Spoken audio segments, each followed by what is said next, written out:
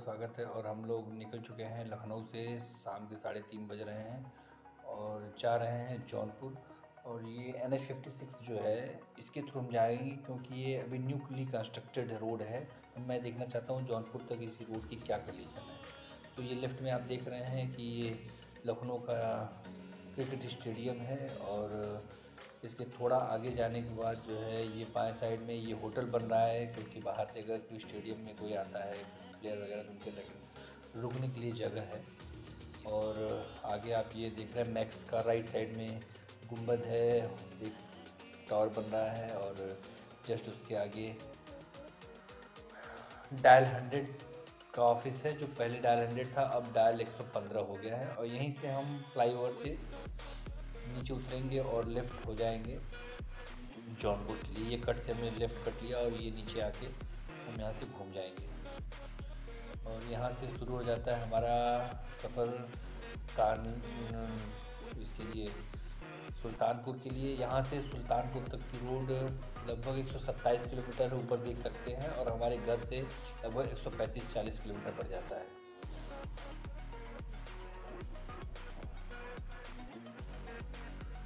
तो ये हमारा ये ट्रैफ़िक का एरिया आ गया है काफ़ी।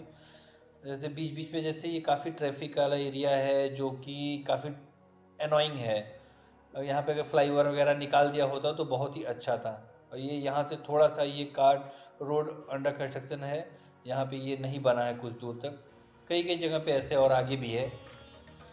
जहाँ पे किसी लोगों ने रोड नहीं दिया, फिर नहीं कुछ ऐसा हो गया तो जिसके कारण नहीं बन पाया है। और आगे ये देख रहे हैं, रोड बहुत ही ज़बरदस्त यहाँ पे ये फ्लाई ओवर है और जिस पे कि मुझे बहुत ही अच्छा लगा था तो मैं थोड़ा सा फ़ोटो वगैरह शूट किया था मैंने। तो जगह बहुत अच्छी लगी थी मुझे। तो ये देख सकते हैं।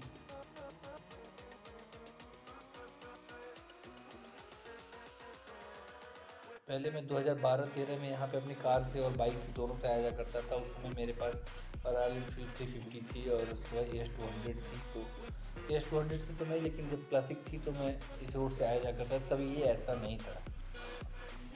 उस टाइम में मुझे, उस टाइम में मुझे लगभग चार घंटे, साढ़े चार घंटे लगते थे लखनऊ से जौनपुर जाने में। और उसमें से भी लगभग साढ़े चार घंटे में से तीन घंटा मुझको लगता था यहाँ पे सुल्तानपुर आने में और जो है डेढ़ घंटे लगते थे उस समय जौनपुर जाने में सुल्तानपुर से। और इस टाइम देखते हैं कितना लगता है। जैसे रोड तो बहुत अच्छी है, गाड़ी तो जैसे रॉकेट की तरह भाग रही है यहाँ पे। जगह जगह पे कट है।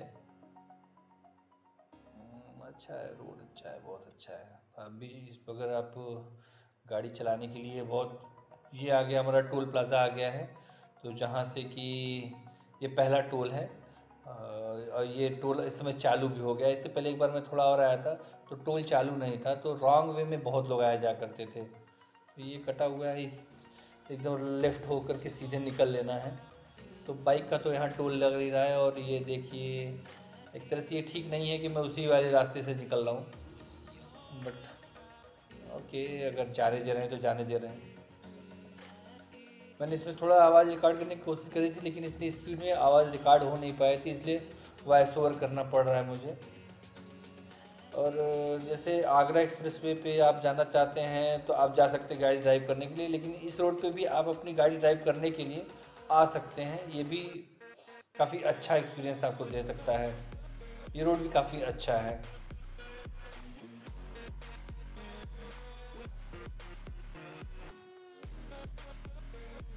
टोल के बाद ये मार्केट आ गया है, जो मार्केट मार्केट में जगह जगह है, जो कि अभी भी पुराने जैसा ही फील आ रहा है। मेन डिवाइडर तो लग गए हैं, लेकिन लोगों की एंट्री एग्जिट इस पर कोई कंट्रोल नहीं है। तो बीच बीच में गाड़ी ड्राइव करने के लिए बहुत अच्छा एक्सपीरियंस है। और रोड ऐसा है, अभी हो गया जैसे कि नई रोड बन जाने के बाद कोई सपोर्ट नहीं मिलता है तो सपोर्ट वाले सिस्टम ने पूरी तरह से डेवलप है रोड क्योंकि उसी रोड को लगभग लगभग बनाया है। और ये हम लोगों ने हाईवे वो रोड छोड़ के उसका कान, सुल्तानपुर से पहले वो जो बाईपास है, उसको पकड़ लिया है। और ये बाईपास वाली रोड जो है लगभग सुल्तानपुर से पहुँचाने के लिए 50 किलोमीटर पहले से चालू होती है और सुल्तानपुर तक जाती है। और उससे सुल्तानपुर ख़त्म होने से पहले इस पर टोल लगता है। मतलब ये रोड ज़बरदस्त है। आप इस पर जो है कि मज़ा आ जाता है चलाने में, क्योंकि स्पीड बहुत अच्छी है, चला सकते हैं और ट्रैफ़िक काफ़ी कम है इस रोड पे तो आपको बहुत ही मज़ा आने वाला है। तो अगर आप सुल्तानपुर तक का अगर ट्रिप मारना चाहते हैं इस पर्पज़ से कि देखिए सामने सीनरी देखिए कितनी ज़बरदस्त लग रही है। चारों तरफ़ पेड़ और बीच से ये रोड जाती है। तो ये नई रोड है तो अगर इस पर अगर आगरा एक्सप्रेस वे पे जाते जाते और फैजाबाद रोड पे जाते और बाकी रोड पे जाते अगर आप बोर हो चुके हैं तो इस नए रोड पे जाना चाहते हो तो इस पर भी जा सकते हैं सुल्तानपुर तक। तो अभी तक तो सुल्तानपुर, यहाँ तक जो, जहाँ पहुँचे ये तो बहुत अच्छा है, बगल में हरियाली है। अच्छा है अच्छा टाइम है। और जैसे यहाँ पे बीच में मुझे थोड़ी, कई बार गाड़ी भगाने का मौका मिला था, लेकिन मैंने रिकॉर्ड जो है एक बार किया था। तो लगभग ये इजीली आप इतनी स्पीड से गाड़ी चला सकते हैं वहाँ पे। One one one ten one twenty चला सकते हैं, लेकिन उसके ऊपर रिस्क लेना ठीक नहीं है। भगाने को तो आपको स्टिच मिल जाए तो वन फिफ्टी के ऊपर ले जा सकते हैं। लेकिन ये Agra express way Yamuna express way नहीं है कि एबव इसके डामनार को ले जाया जा सके। ऑलरेडी डामनार मेरी एक सौ साठ पैंसठ तक ही जाती है तो इतनी स्पीड अच्छी है इस रोड के लिए। तो मुझे टोटल कितना टाइम लग गया था सुल्तानपुर तक जाने में? पौने दो घंटे से कम ही टाइम लगे थे और शुरू, बुरा टाइम शुरू हुआ था मेरा सुल्तानपुर के बाद, क्योंकि बाद में रात हो गई। लाइट बहुत गंदा मतलब अंधेरा था रोड इतनी गंदी कि पूछो नहीं। क्योंकि पौने दो घंटे यहाँ तक लगे और टोटल साढ़े चार घंटे मुझे लगे थे जौनपुर तक पहुँचने में, जिसमें कि मुझे पौने दो घंटे इधर और साढ़े चार घंटे में आप जोड़ लो कि सुल्तानपुर से जौनपुर तक कितना टाइम लग गया। क्रॉसिंग का भी वही वाला सिस्टम है बार बार बंद मिलती है। रोड अंधेरा हो जाने के बाद कई जगह डाइवर्जन हो गए तो नई नई रोड है तो समझ में नहीं आता रोड किधर जा रही है। आपको कई बार रोड ढूंढना पड़ जाता है उस रोड पे। तो मैं सजेस्ट करूँगा कि दिन में अगर आपको एसयूवी टाइप की गाड़ी है कोई तो आप उससे जा सकते हैं। लो ग्राउंड क्लियरेंस वाली गाड़ी लेके इस रोड पे नहीं जाना है, सुल्तानपुर वाली रोड पे। लखनऊ, जौनपुर, सुल्तानपुर से जौनपुर वाली तक। ये बीच की बता रहा हूँ सुल्तानपुर तक तो ज़बरदस्त है, ज़बरदस्त आप जा सकते हैं। बहुत मज़ा आने वाला है। लेकिन उसके बाद पूरा ऑफ़ रोड हो जाता है। कहीं कहीं रोड बहुत अच्छी है कहीं कहीं बहुत ख़राब है। लेकिन अंधेरा होने के बाद ये प्रॉब्लम बहुत ज़्यादा बढ़ जाती है। तो मैं सजेस्ट करूँगा कि अगर आपको सुल्तानपुर जाना है इंजॉय करने के लिए बाइक राइड के लिए फोर व्हीलर राइड के लिए, किसी फोर व्हीलर या फिर अगर आप ऐसे भी जाना चाहते हो तो जा सकते बहुत अच्छा रास्ता सुल्तानपुर। लेकिन सुल्तानपुर से अगर आगे जौनपुर जाना है तो बेटर होगा कि अगर आप दिन में निकलते हैं और हाई ग्राउंड क्लेस की गाड़ी है तो टू व्हीलर या फोर व्हीलर कोई से भी जा सकते हैं। लेकिन अगर रात हो जाती है तो मैं सजेस्ट नहीं करूँगा। और बाइक से तो कतई नहीं, क्योंकि पहुँचते पहुँचते इतना धूल भर जाता है फेफड़ों में कि हालत ख़राब हो जाए, पूरे कपड़े गंदे हो जाते हैं। रोड अच्छी नहीं है सुल्तानपुर के बाद अभी नहीं बनी है सुल्तानपुर टू जौनपुर। इवन आप इसके बगैर आपको जाना है तो बल्कि रायबरेली होकर चले जाइए या रास्ते से। वैसे तो आप देखिए ना, एक ज़बरदस्त रास्ता है इंजॉय कर ही रहे हैं। बहुत अच्छा है बहुत अच्छा रोड है।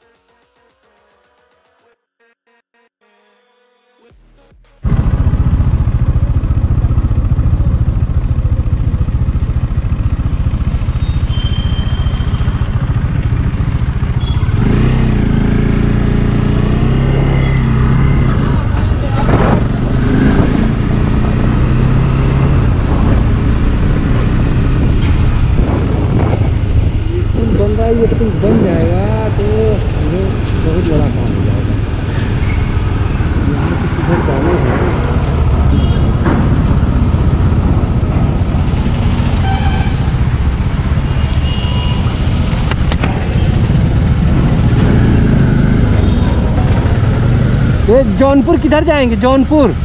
जौनपुर। कौन सी? जौनपुर। जौनपुर? हाँ। सीधा। सीधा? हाँ, ये तो प्रतापगढ़ है। ये सीधा अच्छा इधर। बाएँ।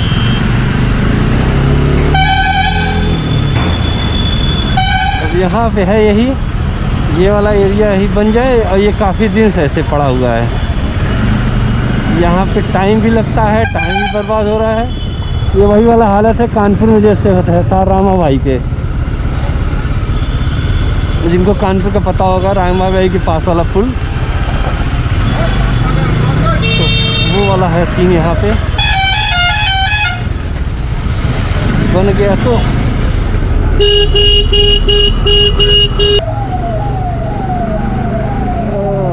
अब यहाँ से निकलने के बाद यहाँ से रोड फिर कुछ अच्छी, कुछ खराब ये वाला सीन है। ऐसा बनी हुई है।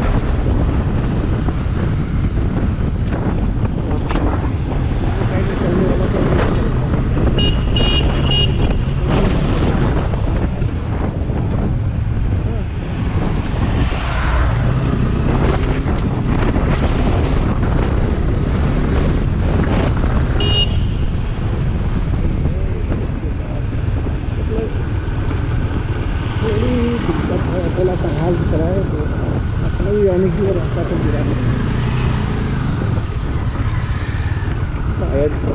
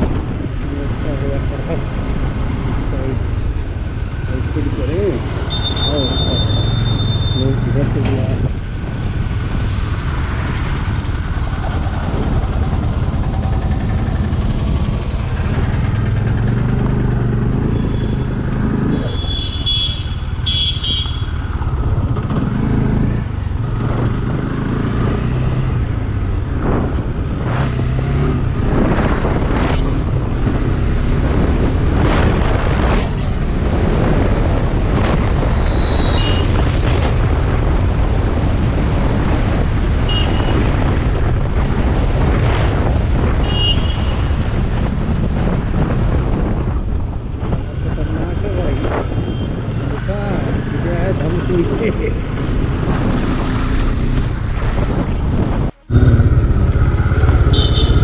फाइनली हम लोग साढ़े तीन बजे के चले चले अभी जौनपुर पहुँचे हैं। टाइम हो गया है सात चालीस। यानी लगभग लगभग हमको सवा सवा चार, साढ़े चार घंटे लग गए लखनऊ आने में। और सुल्तानपुर तक दो घंटे लगे थे, दो घंटे पौने पौने दो घंटे या डेढ़ डेढ़ पौने दो घंटे। बाकी जो टाइम लगा है सुल्तानपुर से जौनपुर। यानी अंदाज़ा लगाया जा सकता है कि रोड कितना ख़राब है। उसकी झलक यहाँ भी आई रही है कि रोड कितनी ख़राब है। जौनपुर में भी कोई खास अच्छी रोड नहीं है। यहाँ भी रोड की हालत ख़राब ही है।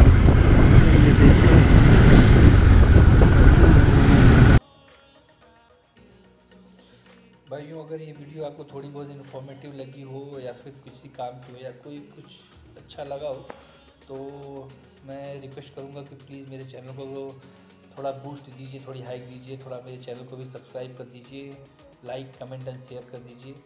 और इसके अलावा अगर आपको कुछ और क्या पूछना है, आप पूछ सकते हैं, बता सकते हैं। गाली देना गाली भी दे सकते हैं, लेकिन प्लीज़ गाली दीजिएगा तो अच्छा नहीं लगता है थोड़ा सा। और अगर आप प्रोत्साहित करेंगे तो जल्दी जल्दी वीडियो भी डालने का मन करता है, नहीं तो कुछ कोई देखता नहीं सजेस्ट नहीं करता लाइक नहीं करता तो बनाने का मन भी नहीं करता है। और जो जौनपुर वाले हैं तो प्लीज़ जौनपुर वाले, सुल्तानपुर वाले, लखनऊ वाले तो प्लीज़ यार सब्सक्राइब करिए thank you friends friends for watching thanks